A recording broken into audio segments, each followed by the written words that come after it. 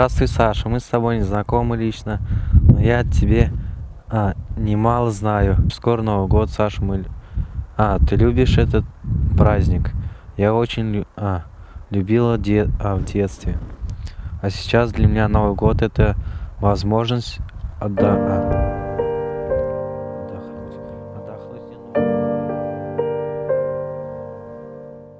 Что такое одиночество? На первый взгляд кажется, что ответ прост. Одиночество — это когда ты один. Но не все в жизни так однозначно. И в толпе можно чувствовать себя столь же одиноко, как в лесу или в пустыне.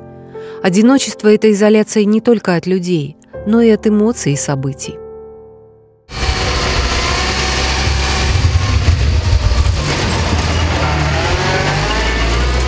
В конце мая мы проводили Сашу Тормина в приемную семью. История мальчика-сироты, попавшего в аварию, взволновала тогда весь город. Десятки людей предлагали помощь делами, деньгами и участием. Но только Владимир и Любовь Красновы оказались готовы взять на себя серьезную ношу.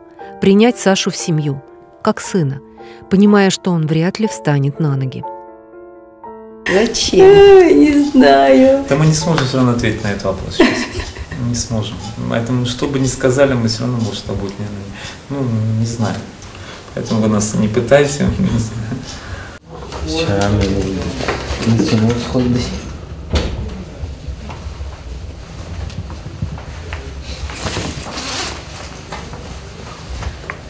Типа так. Пресс качаешь? Я не знаю. Ну здорово, и руки заодно. и. Руки, да, и пресс. Сколько ты так раз можешь? Ну, я сам больше 80 делал. 80? Да. 80? Да. Ладно.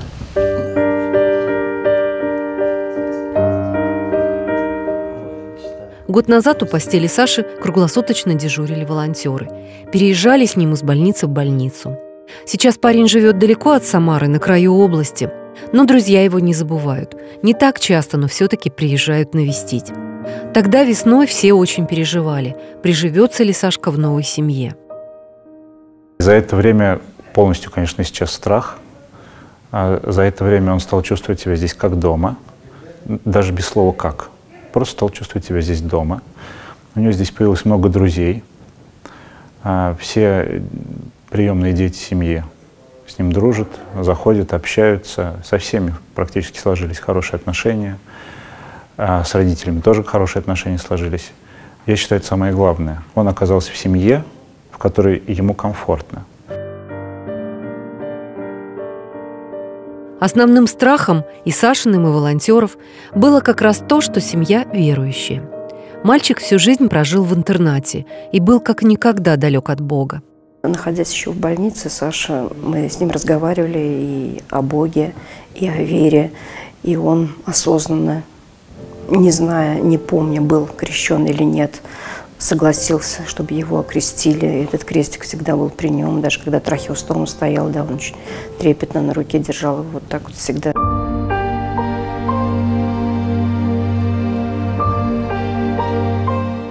У каждого своя дорога к вере, считают Сашины приемные родители. Захочет – сам придет в храм. Безусловно, батюшке хотелось бы большей вовлеченности мальчика в дела семьи, но принуждать приемных детей в семье Красновых не принято. Это как бы часть нашей жизни, и, и- и как бы ему участие нужно во всем. Да? И если и мы, естественно, исходя из этого, хотим, чтобы он туда был, чтобы как-то день спал. Не то, что он целый день сидит в сети, это же тоже как-то он э, как бы не, в, не в реальности живет. Все узнав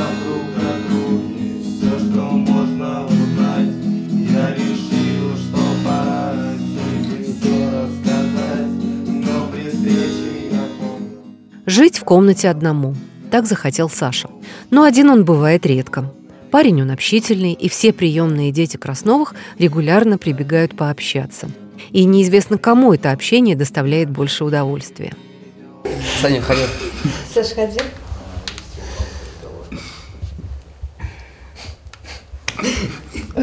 Ой. А вон, вот это, да, мы оттуда подъемся. Сюда, да? Да. Коля. Володя.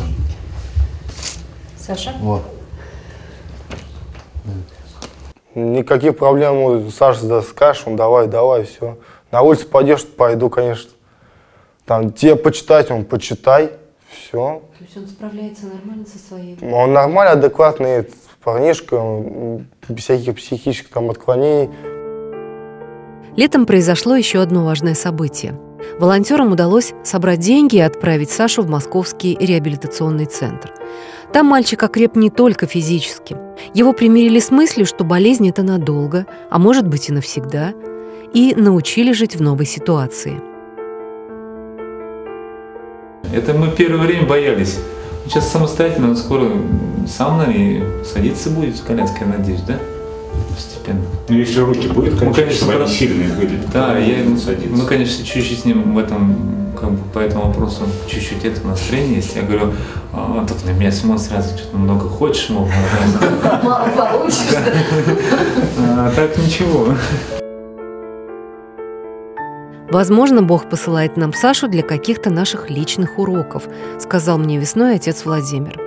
Краснова воспитали 17 приемных и двоих собственных детей, но вопросов сегодня больше, чем когда-либо. Может быть, потому что себя они привыкли судить строже, чем других. На что для вас труднее всего? Труднее. Чего труднее? Ой, Труднее всего, наверное, себя победить. Порой вот хочется что-то такого, другого, реакции, другой реакции, обычно такой человеческой, а тут надо как-то по-другому. Уже понимаешь разум, и вот, вот труднее всего вот это именно с соб- с собой бороться. Ему больше как бы морально чего, чем физически, потому что физически как бы мы здесь рядом, а он там, а морально он как бы переживает, думает, как мы здесь, он, Саша, вот так. Он с, с нами бывает поговорит то, что вы там, Саша, ты не при Саше, а как бы она отдельно каждый ну, она, ну, отойдет и скажет нам, что нам делать. Но вот э, беспредельная любовь этих людей, вот именно не та любовь, которую мы понимаем, да, в эмоциональном плане, э, что зажигается что-то, а любовь, она, ну, больше намного, шире, чем мы привыкли в это понятие вкладывать, она дает свои результаты. И это невозможно не заметить. История Саши затронула многих людей. При всей ее трагичности он стал богаче ровно настолько, насколько они сердечны и милосердны. Но и сам Саша изменил тех людей, которые оказались в его орбите. Ну вот как-то сложились отношения.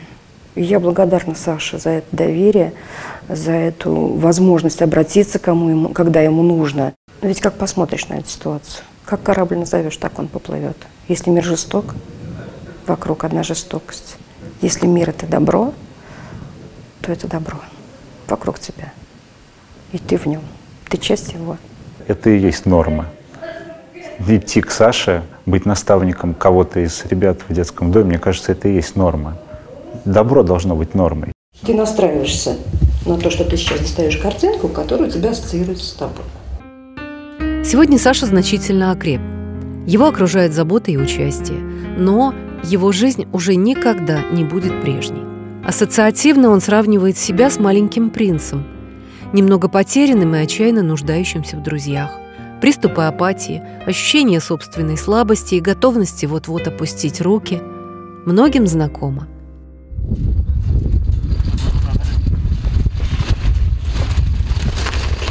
Впереди Новый год, самый сказочный из праздников. Друзья решили поддержать Сашу. Ему пишут письма, рассказывают о себе, спрашивают о нем. Свои фотографии сделали для Саши известные футболисты. Такие несложные знаки внимания от знакомых и чужих способны творить чудеса, особенно в канун Нового года.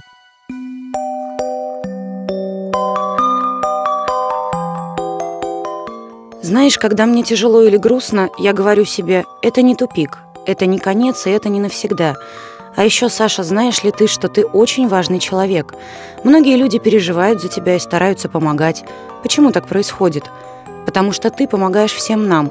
Проявлять свои лучшие качества, доброту, поддержку, внимание, желание быть полезными. А еще для многих людей ты стал образцом силы воли и примером того, что человек способен выжить даже в самой непростой ситуации. И что самая сложная ситуация может измениться к лучшему. Так что, Саша, старайся и не раскисай, потому что ты для нас очень важен.